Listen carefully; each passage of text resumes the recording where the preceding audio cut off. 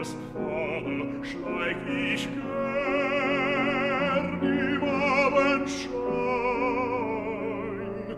An das öde Schiff gestaden Mädchen und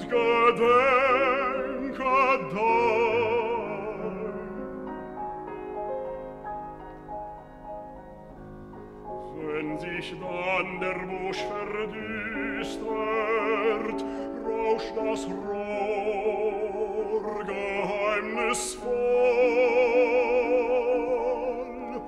Und es